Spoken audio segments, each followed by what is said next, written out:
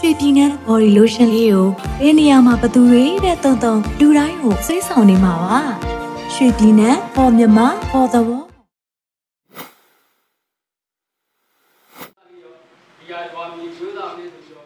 တနင်္သာရီတိုင်းဒေသကြီးတွင်က COC မှန်ကလေးလောက်ကန်ရမှာကုမ္ပဏီနဲ့ဒေသခံတောင်သူတွေအကြားနေရညစ်ပွားမှုဖြစ်ပေါ်နေတဲ့ကိစ္စနဲ့ပတ်သက်ပြီးဆိုရတဲ့လက်ထက်မှာတရားမျှတစွာဖြည့်ရှင်းဆောင်ရွက်ပေးစီလိုတယ်လို့တနင်္သာရီမြို့နယ်အတွင်းကဒေသခံတောင်သူအချို့ကပြောပါတယ်။ တနင်္သာရီတိုင်းဒေသကြီးထဲမှာမြေရညစ်ပွားမှုအများဆုံးဖြစ်ပွားနေတဲ့ COC မှန်ကလေးကြောင့်ဒေသခံတောင်သူတွေမှာထိခိုက်နေမှုတွေရှိနေတဲ့အပြင်တရားဆက်ဆိုခြင်းနဲ့ချိတ်ချက်မှုတွေကပြုလုပ်လာတာကြောင့်ဒေသခံတောင်သူတွေကပြီးခဲ့တဲ့ရက်ပိုင်းမှာပြုလုပ်တဲ့သတင်းစာရှင်းလင်းပွဲမှာပြောကြားခဲ့တာပါ။တိတ်ပြီးတော့ဟိုနဲ့မဖြစ်ဘူးချိန်ချောက်မှုကတော့သူကဘိုးကခိုင်းနေဆိုပြီးတစ်ခုပဲသူကချိန်ချောက်တယ်အဲ့ဒီကဘာမှတရားစွဲတာတွေဘာလို့မရှိဘူးအဲသူကအဲ့လုတ်ပိုင်ခွင့်တွေကြာလာပြီးတော့မှဒီတင်မြင့်ဆောင်2012 ဒီကဒီအခုမြေယာဥပဒေပေါ့ဘိုးကနေမြေယာဥပဒေပြင်ဆင်တဲ့ဥပဒေတွေဟိုနည်းနေဥပဒေပြင်မြေယာဥပဒေသစ်ထွက်လာတယ်မှာအဲ့ဒီကြမှာကျွန်တော်တို့2012ကြမှာတရားစွဲတာ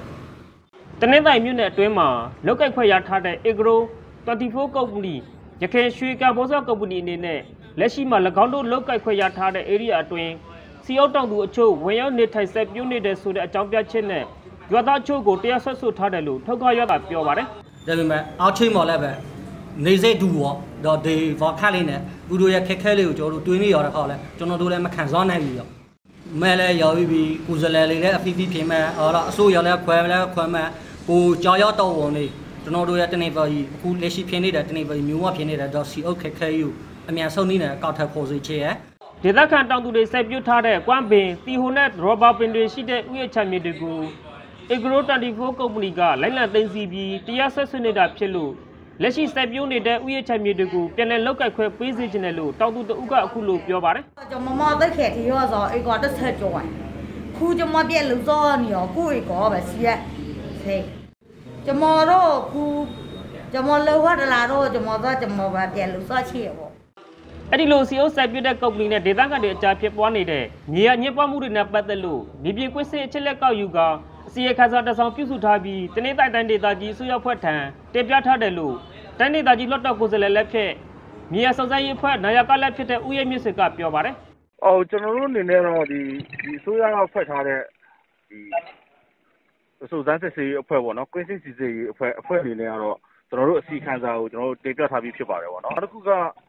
ကုမ္ပဏီကနေပြီးတော့သူတို့ပြစ်မရအောင်စိုက်ပျိုးထားပါတယ်လို့ဖော်ပြထားတဲ့အကွက်တွေကိုကွင်းစိမ်းပြီးတော့တိုက်တာကြီးတဲ့ခါကျတော့ဒီသူတို့ပြောထားတဲ့အတိုင်းပြစ်မရအောင်ဟို စိုက်ပျိုးထားခြင်းမရှိတာကိုလည်းကွင်းဟိုတွေ့ရှိရတာပေါ့နော်။အဲ့တော့အဲ့တွေ့ရှိချက်တွေကိုတော့တွေ့ရှိချက်ဟိုဒီပြင်တွေ့ရှိချက်သဘောထားမှချက်အကြံပြုချက်စီခံတာတော့ဆွေးရဖွဲ့စီတင်ထားပြီးဖြစ်တယ်တနင်္သာရီမြို့နယ်အတွင်းပြည်တော်စုလမ်းမကြီးရဲ့လမ်းဘေးဝဲရတစ်လျှောက်မှာရှိတဲ့မြေဧက8600ကျော်မှာ Agro 24ကုမ္ပဏီကစိုက်ပျိုးမြေအဖြစ်တုပ်ပြဖို့တင်ပြထားပြီးလက်ရှိမှာမြေဧက9500ကျော်ကိုစိုက်ပျိုးမြေအဖြစ်တုပ်ပြထားတယ်လို့သိရပါတယ်။ ဖော်ပြထားတဲ့ကုမ္ပဏီရဲ့လုတ်ပတ်ခွဲမြေဧရိယာအတွင်းမှာတင်းတိုင်းမြို့နယ်ကတာပလက်ရေဖြူထုတ်ခါထမုတ်ချောင်းချက်လက်မှုအစရှိတဲ့ကြေးရွာတွေကဒေသခံတွေဝင်ရောက်ပြီးနေအိမ်ကြီးကျော်ဆောက်လုပ်တာတွေကျူးကျော်ဆက်ပြုမှုတွေပြုလုပ်တဲ့ဆိုပြီးကုမ္ပဏီဖက်ကဒေသခံချုပ်ကိုမြေလွတ်မြေလတ်နဲ့မြေအိမ်များစီမံခန့်ခွဲမှုဥပဒေပါပုံမှန်တွေနဲ့တရားစွဲဆိုထားတယ်လို့သိရပါတယ်။ကျွန်တော်ဒီမိုသေးဘိန်းမျိုးကတည်းကပေးပို့ထားတာပါ။